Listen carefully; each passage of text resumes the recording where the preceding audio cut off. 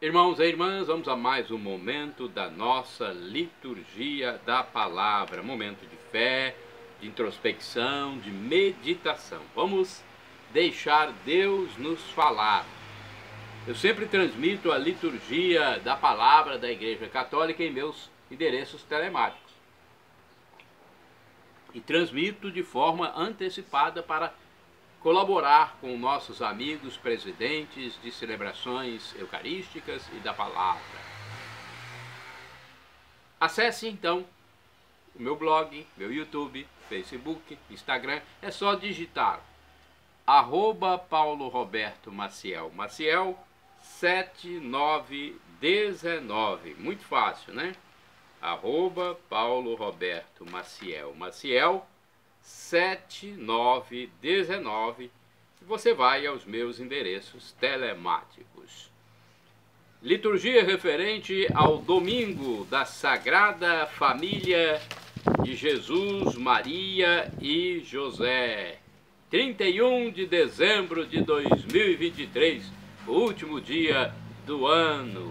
A cor dos paramentos litúrgicos é branca, conforme eu estou exemplificando aqui, estou simbolizando. No rito temos o Glória, o Creio, o prefácio do Natal e o ofício da festa.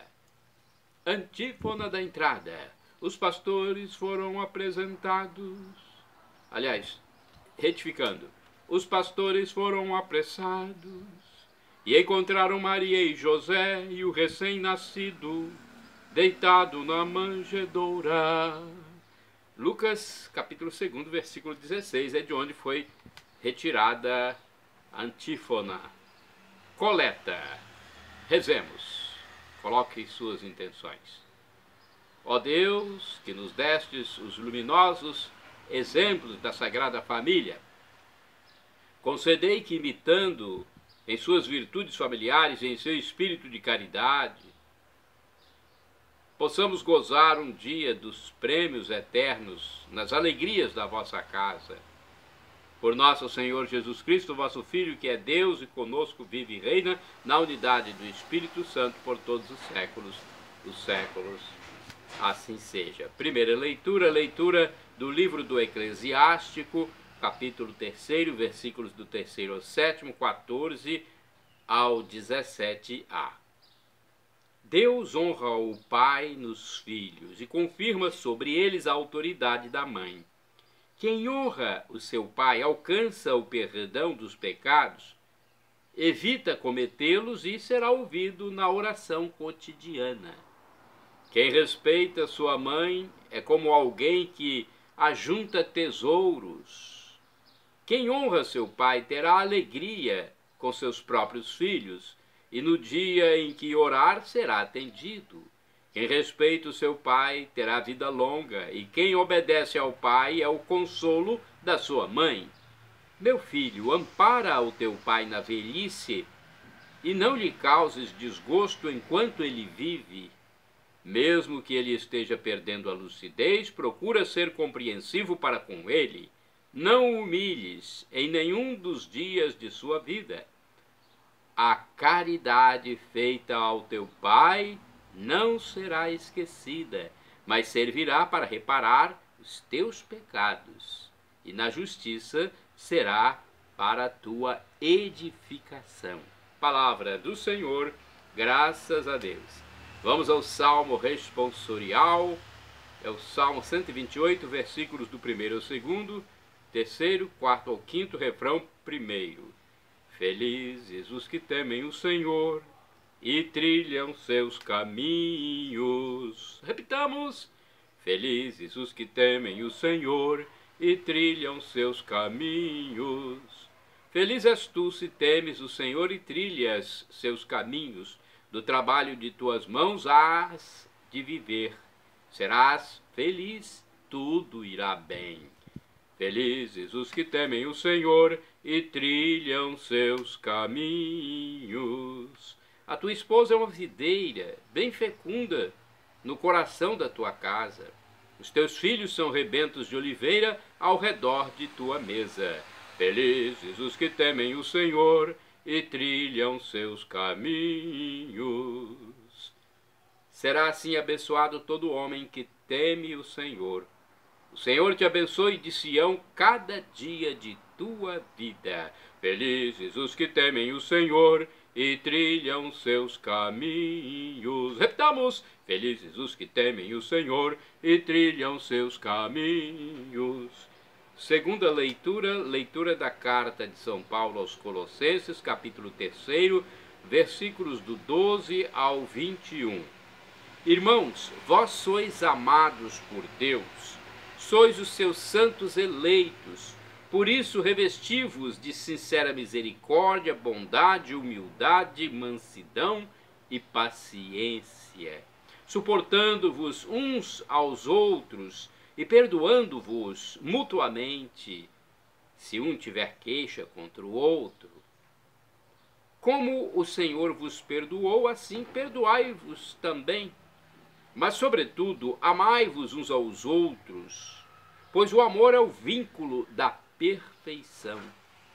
Que a paz de Cristo reine em vossos corações, a qual fostes chamados como membros de um só corpo, e sede agradecidos, que a palavra de Cristo, com toda a sua riqueza, habite em vós.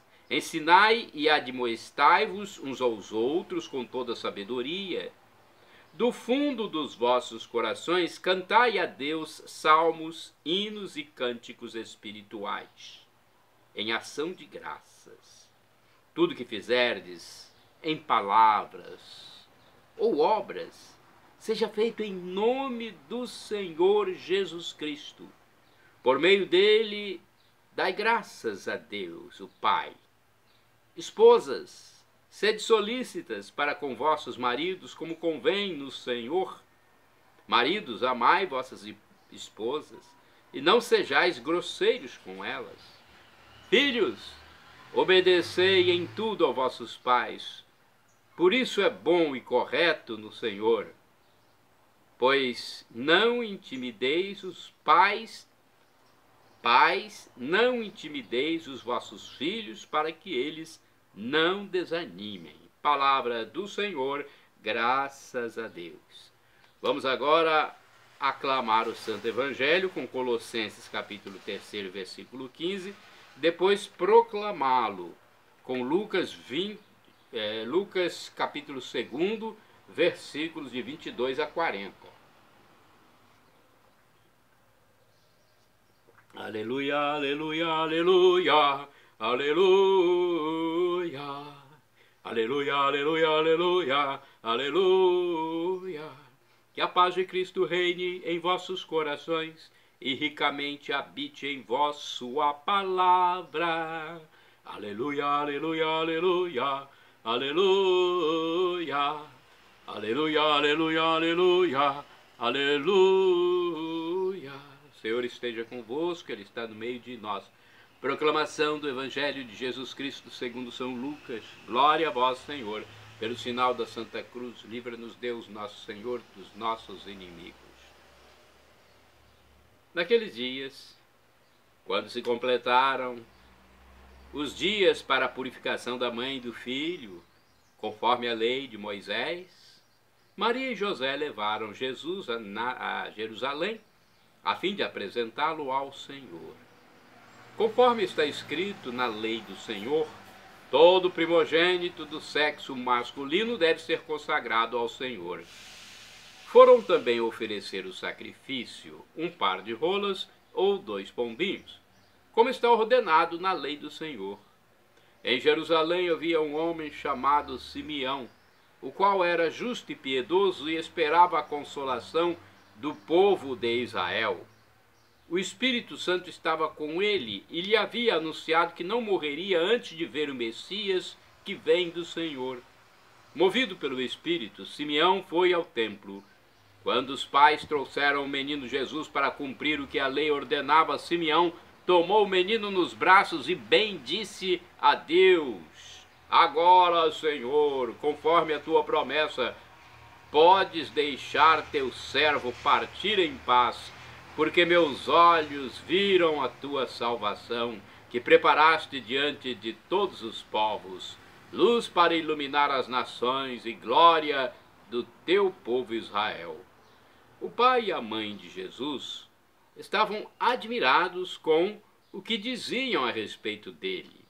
Simeão os abençoou e disse a Maria, mãe de Jesus: Este menino vai ser causa tanto de queda como de reerguimento para muitos em Israel.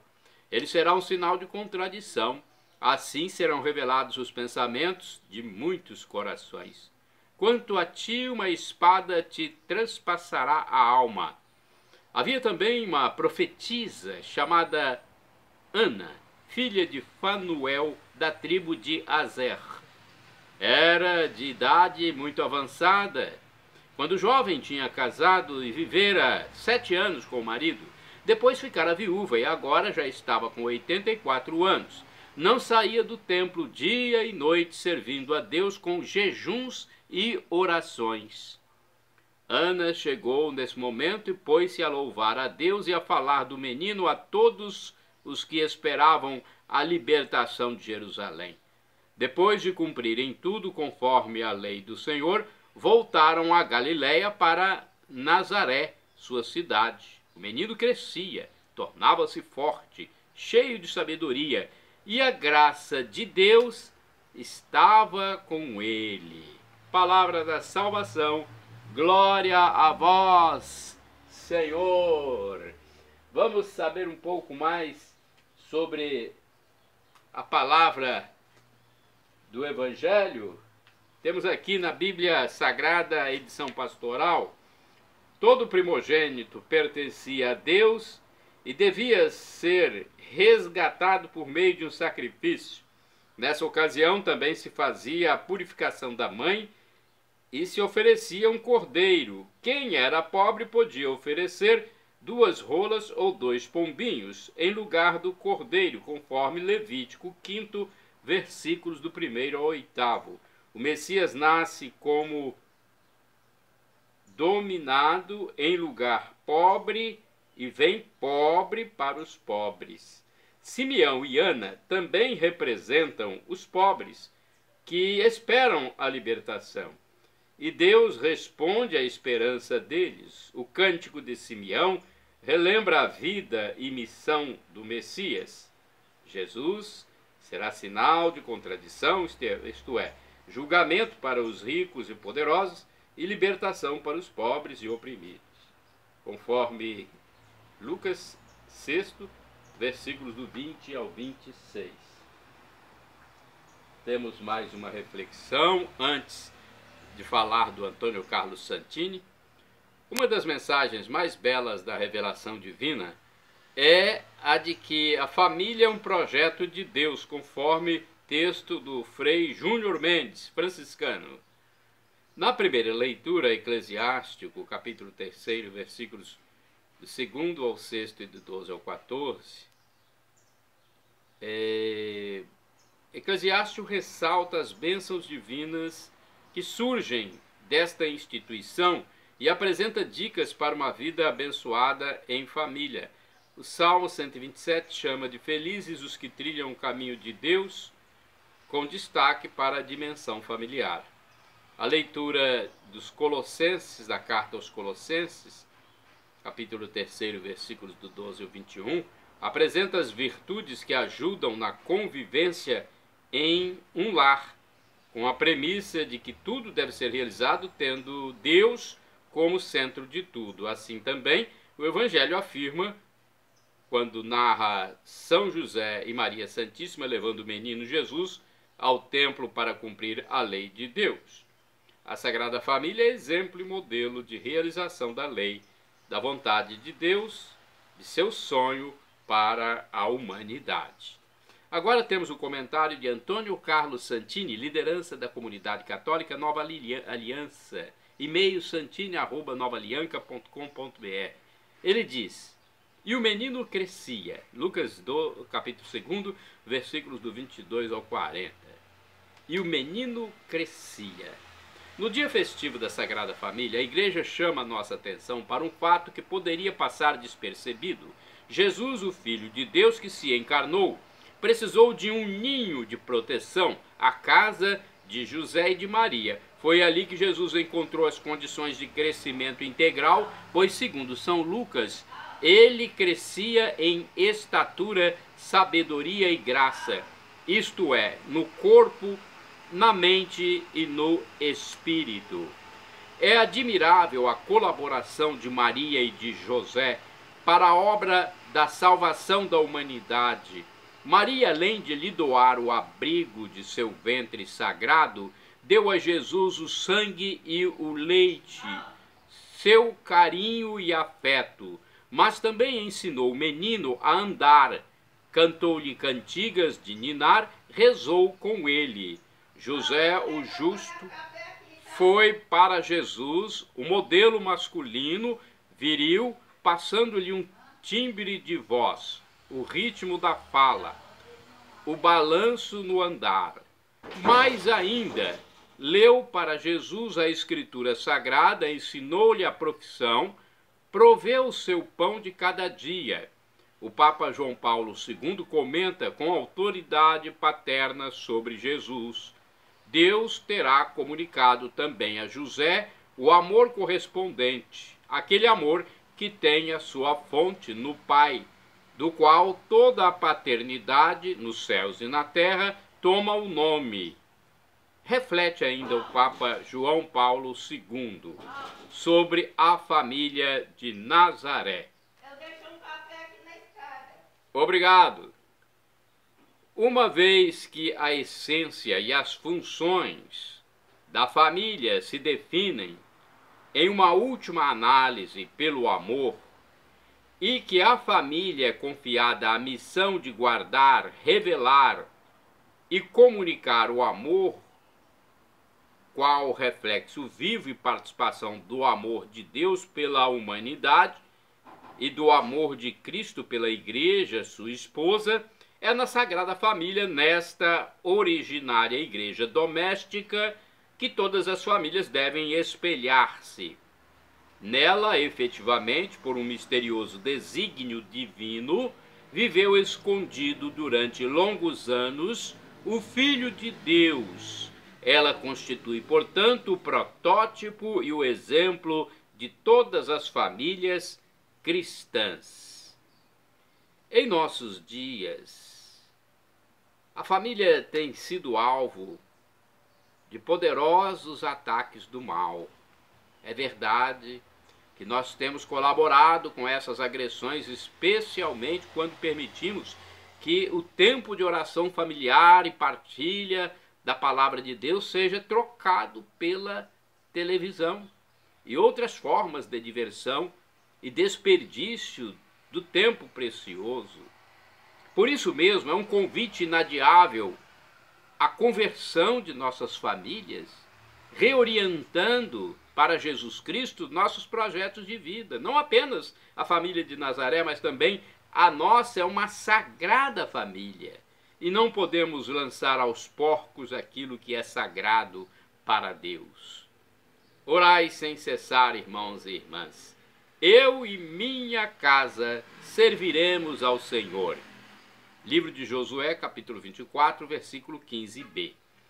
Vamos aos santos do dia 31 de dezembro. Santa Melânia, matrona romana, Melânia, a jovem, para não confundir com o nome da sua avó, pertencia à nobre James Valéria. Com o marido Piniano, mudou-se para Jerusalém e fundou uma espécie de comunidade monacal, segundo o estilo dos orientais do século V. Faleceu na Cidade Santa, em 440, após ter dado tudo aos pobres. Santa Melânia. Agora, santo do dia 31 de dezembro, São Silvestre I. São Silvestre I foi papa. Foi papa e foi o primeiro papa de uma igreja que não devia mais se esconder nas catacumbas, por causa das perseguições dos primeiros séculos. Então já não havia mais aquela corrida para se esconder. No ano 313, durante seu papado, o africano Milzíades e os imperadores Constantino e Licínio deram plena liberdade de culto aos cristãos. No dia seguinte foi precisamente Silvestre a ocupar o sólio de Pedro. Silvestre, sacerdote romano, cuja data de nascimento se ignora, segundo o Liber Pontificalis, era filho de um certo Rufino romano. Ele foi artífice da passagem de Roma pagã para Roma cristã. Olha que importância temos aqui de São Silvestre. Foi artífice da passagem da Roma pagã para a Roma cristã. E aquele que presenciou a construção das grandes basílicas por obra de Constantino, ainda segundo Liber Pontificalis, por sugestão do Papa, Constantino fundou a Basílica de São Pedro na colina vaticana sobre um templo pré-existente dedicado a Apolo, onde sepultou o corpo do apóstolo São Pedro. Graças às boas relações entre Silvestre e Constantino, surgiram a Basílica e o Batistério de São João em Latrão, perto do ex-palácio imperial, onde o pontífice começou a morar. A Basílica de Cessório, Basílica de Santa Cruz em Jerusalém e a Basílica de São Pedro Extramuros. No entanto, a memória de Silvestre é ligada principalmente à igreja em títulos Equite, que recebe o nome de um presbítero romano que se diz tenha construído esta igreja sobre sua propriedade.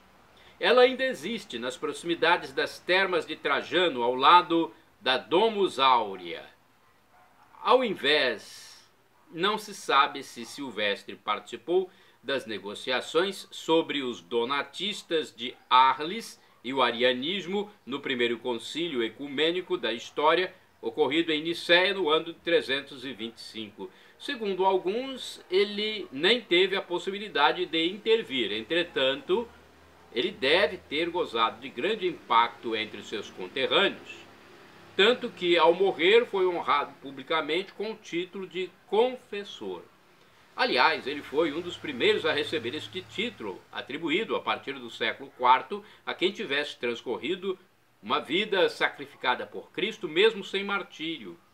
Além do mais, este Papa, sem dúvida, contribuiu para a evolução da liturgia Durante o seu pontificado, provavelmente foi escrito o primeiro martirológio romano. O nome de Silvestre é ligado também à criação da escola romana de canto. O Papa São Silvestre é o padroeiro, é o padroeiro da ordem cavalheiresca, chamada Milícia Dourada ou também Espora de Ouro, que, segundo a tradição, foi fundada pessoalmente pelo imperador Constantino I. Após vários acontecimentos ao longo dos séculos, o Papa Gregório 16, em 1841, no âmbito de uma ampla reforma das ordens equestres, separou a milícia dourada da ordem do Papa São Silvestre, assegurando-lhe dignidade e estatutos próprios. Em 1905, o Papa Pio X acrescentou outras modificações que vigoram ainda hoje. A ordem prevê quatro classes: cavaleiro, comendador, oficial, grande oficial, Cavaleiro Gran Cruz. Das três ordens equestres disciplinadas pela Santa Sé, a menor é a de São Silvestre. A classe mais alta pertence à ordem planária, seguida por aquela de São Gregório Magno. Santa do dia 31 de dezembro, Santa Catarina Lebouré. Segundo o site da comunidade católica Canção Nova, Catarina Lebouré Nasceu em Fain-les-Moutiers, em aldeia, uma aldeia de Borgonha, na França, em 2 de maio de 1806. Seu pai era Pedro Lebouret e sua mãe Luísa Madalena Gontard. Catarina era a nona filha do casal. Moravam no campo, tinham amor ao trabalho e à simplicidade de vida. Sua mãe faleceu aos 46 anos, quando Catarina tinha 9 anos de idade. Com a morte da mãe, assumiu com empenho a maternidade e a educação dos irmãos. Alimentava em seu coração o ardente desejo de ver Nossa Senhora, pedido esse constante em suas orações. Um dia, dirigindo-se à casa das Filhas da Caridade, em Chatillon-sur-Seine, nota na parede da sala de visitas uma fotografia do sacerdote que ela via em seus sonhos. Uma irmã lhe explicou: é o nosso pai, São Vicente de Paulo. Catarina compreende que ela seria filha da caridade. Em 21 de abril de 1830, Catarina entra no noviciado das Filhas da Caridade na Rue du Bac, em Paris, após seu pai lhe dar permissão para sair de casa. Aconteceu que em 19 de julho de 1830, sua vida se entrelaçou mais intimamente com os mistérios de Deus, pois a Virgem Maria começou a aparecer a Santa Catarina a fim de enriquecer toda a igreja e atingir o mundo com a sua imaculada conceição.